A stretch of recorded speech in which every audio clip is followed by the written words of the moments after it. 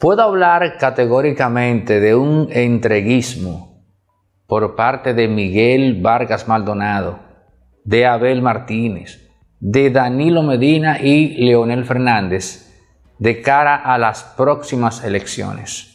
Los primeros en conocer el resultado son ellos. Claro, yo no estoy hablando aquí de un 53, de un 63. Si el presidente quiere ganar pulverizando el récord de Juan Bosch o de Danilo, allá él. El punto es que se vaya en primera vuelta. Pero hay quienes hablan de que los números no le dan al presidente. Pero yo digo, ok, el problema es que yo estoy viendo el accionar de Leonel, de Danilo, de Miguel, de, eh, de, de, Danilo Medina, en fin, o sea, de los cuatro. Y estoy percibiendo brazos cruzados, haciendo cosas que no son determinantes, solo para guardar las formas. La gran pregunta que surge es, ¿a razón de qué están haciendo esto? O sea, se entregaron. ¿Cuál es el beneficio entonces de entregarse? Y qué casualidad que cuando tú asumes una postura derrotista y solo te dedicas a hacer cosas para guardar las apariencias, sin que te importe a su vez engañar a las propias bases, qué casualidad que se dan dos cosas. Gastas mucho menos dinero en un contexto histórico en el cual los partidos políticos en República Dominicana van a recibir la mayor cantidad presupuestaria para unas elecciones. ¿De qué estoy hablando? De que como ya se da por sentado que no va a variar lo que ya pasó en febrero, las principales figuras políticas de República Dominicana lo que están haciendo, oigan qué es, manejar este tema desde el punto de vista estrictamente económico, a sabiendas de que faltarán otros cuatro años para conseguir dinero. Pero saben que no van, claro, tienen su mensualidad, pero no es lo mismo al dinero que se le da en época de elección. Eso es un antes y un después. Leonel, Miguel, Danilo y Abel, lo que han decidido es básicamente administrarse de cara a ese presupuesto. Gastemos tantito se pueda para guardar las apariencias y el resto lo usamos a discreción. A mí no hay quien me saque de la cabeza que ese es el cálculo político que han hecho ellos cuatro y que están viendo esas elecciones a sabiendas de que no tienen chance de ganar, básicamente como eso, como un cheque al portador. 3 mil millones de pesos que no sé cómo se van a repartir. Yo espero que el PRM toque ahí porque a mí que no me digan, no, 3 mil millones para los partidos de la oposición y mil millones para el PRM. No, no, no, no, no, pero un, momento, un momento. Otro toro togaca. Son alrededor, señores, de 3 mil millones de pesos. ¿Qué empresa en este país puede hacer 3 mil millones de pesos en unos cuantos meses? Yo creo que ninguna. Oiga bien, yo creo que ninguna.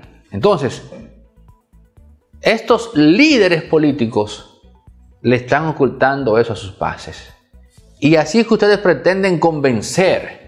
Así es que ustedes pretenden hacer que la gente vaya a votar por ustedes. Cuando ya ustedes se entregaron. Y lo que están haciendo es cálculos de, en qué van a invertir el dinero que van a recibir. Eso particularmente a mí me indigna.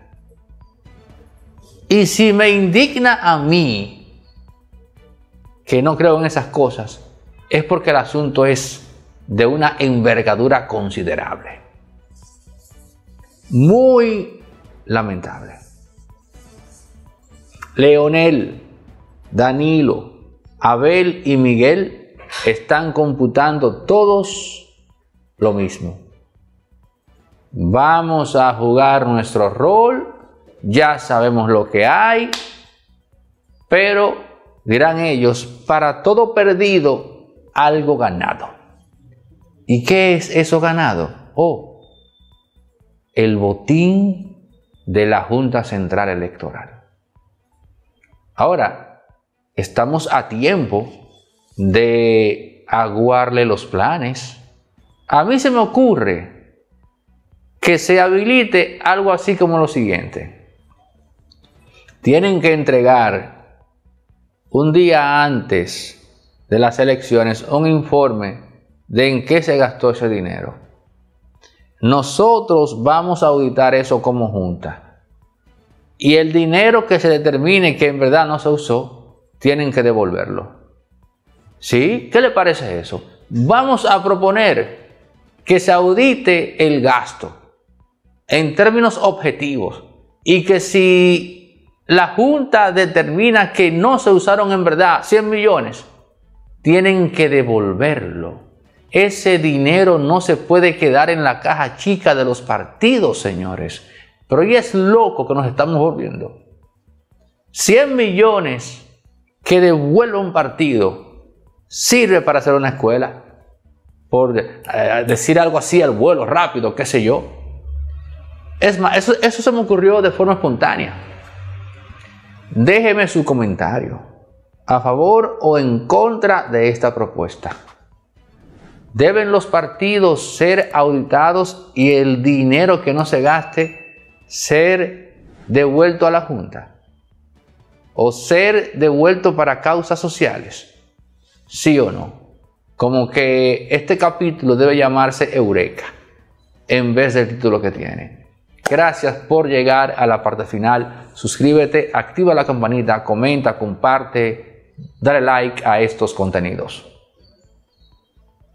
Lo que todos quieren es más tiempo para ganar. Lotedom, la lotería que todos quieren. Sorteos todos los días de 5.55 a 6 de la tarde.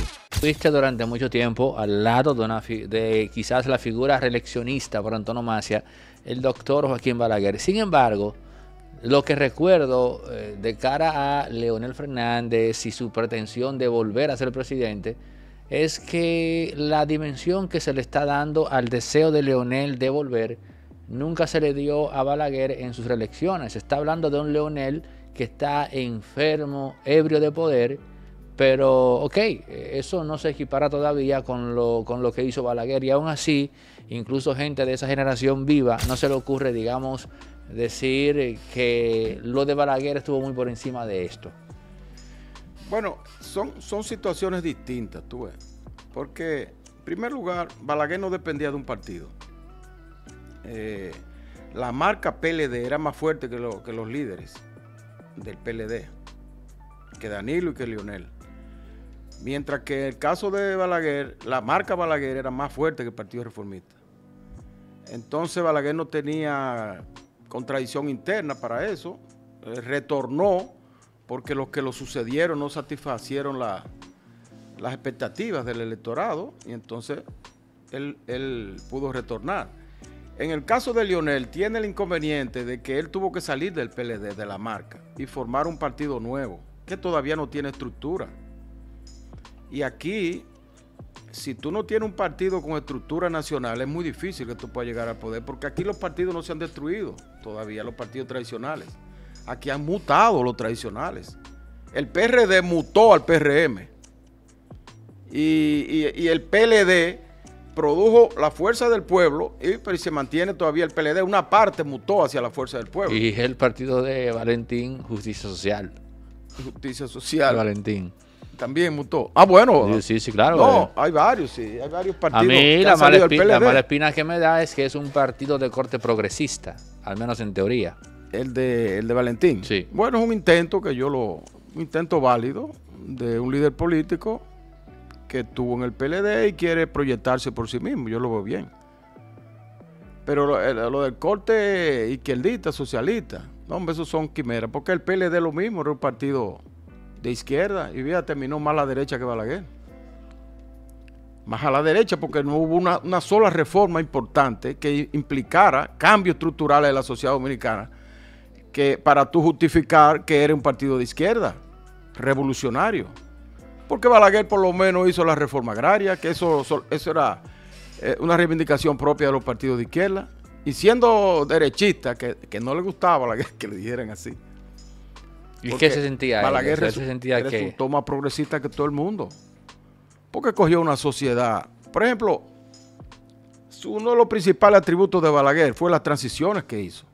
La transición de la dictadura a las elecciones que, ganó el profesor Juan Bosch en el 62. Y después la transición que hizo de la guerra de abril a, elecciones del 66. Y él fue el, 78 también, 78. Bueno, en el 78 entregó el poder pacíficamente al PRD y luego retornó en el 86. Eso es uno. Lo otro es la transformación de la sociedad que hizo Balaguer. Es que, que tener una sociedad rural en el momento que Balaguer toma el poder, en el 66. Donde la OEA tenía que pagar los sueldos de los empleados públicos. Y, y Balaguer, en medio de una guerra fría, de enfrentamiento de dos grandes potencias, que no había opción para tú tener, eh, ponerte etiqueta, como hay ahora. Que tú o eres amigo de los americanos o eres enemigo de los americanos o era amigo de los rusos o enemigos de ellos, de la Unión Soviética. Y en medio de esa guerra fría, que, era una guerra de verdad, no solo una guerra de espionaje, una guerra económica, guerra en todos los órdenes, Balaguer pudo aquí eh, gobernar 12, 12 años con su sombra naturalmente, porque muchas de las cosas que se le atribuyen a él, que es la sangre, ¿verdad?, que pudo haberse derramado en ese periodo, eh, tiene mucho que ver con esa Guerra Fría, porque no, fue, no solamente fue aquí que extinguieron a los izquierdistas, fue en toda América Latina. Eso fue una... Yo recuerdo un organismo, un norteamericano militar que había aquí, que se llamaba el MAG, yo no sé si tú recuerdas, M-A-G-G, que, que era un organismo militar al que obedecían más los militares dominicanos que al propio gobierno.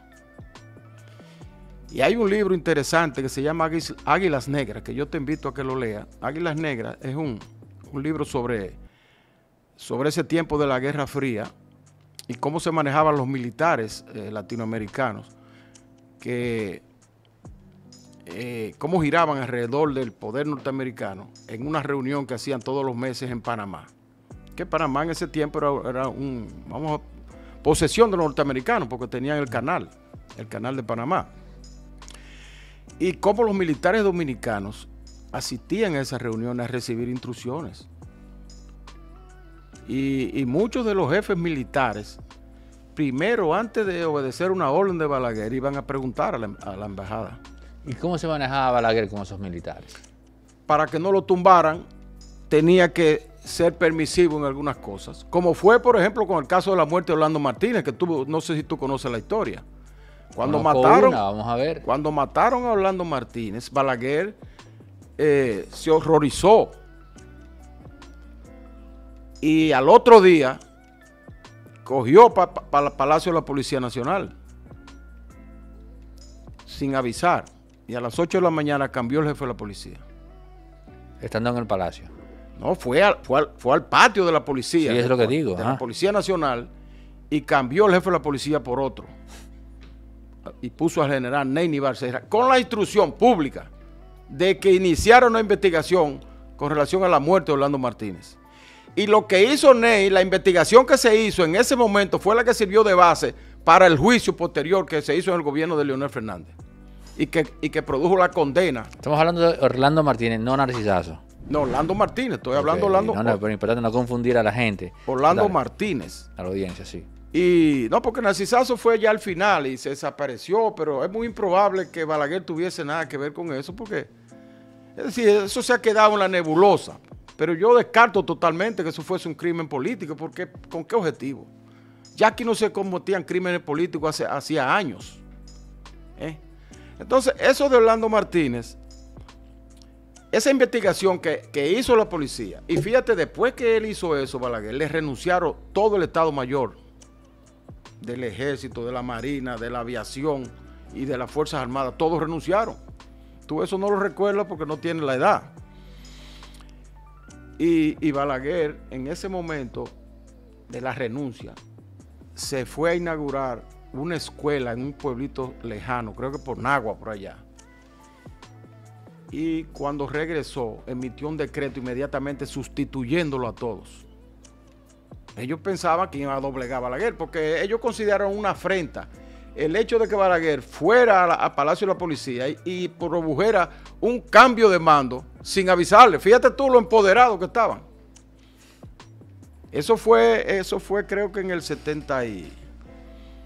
La muerte de Orlando Martínez fue en el 73, no, después de la de Camaño fue en el 75, por ahí creo que fue, 75. Estaban tan empoderados que renunciaron y Balaguer nombró los sustitutos. Y posteriormente esos jefes militares tuvieron que irse agregando poco a poco. Después lo perdonó y lo fue poniendo en lugares menos, menos protagónicos. El, ascenso. Resorte Media es también productora audiovisual y aquí tenemos espacios eh, rentables para producir contenido pero también si tu empresa tiene una actividad fuera y va a hacer una transmisión en tiempo real, puedes contar con Resorte Media. También si necesitas alquilar equipos para filmaciones de películas o eventos, tenemos grúas de 40, 20 pies. En fin, otra cosa, artista independiente que tiene que hacer un videoclip en calidad 8K 6K eh, con imágenes eh, de stock, bueno, pues lo podemos hacer acá en circuito cerrado con los presupuestos más competitivos. Pero si también eh, requieres asesoría para la producción de contenidos en plataformas como YouTube, también puedes contar con nosotros. Resorte Media, todo lo que necesitas en todos los ámbitos cuando se trata de producción audiovisual. 829-741-3061.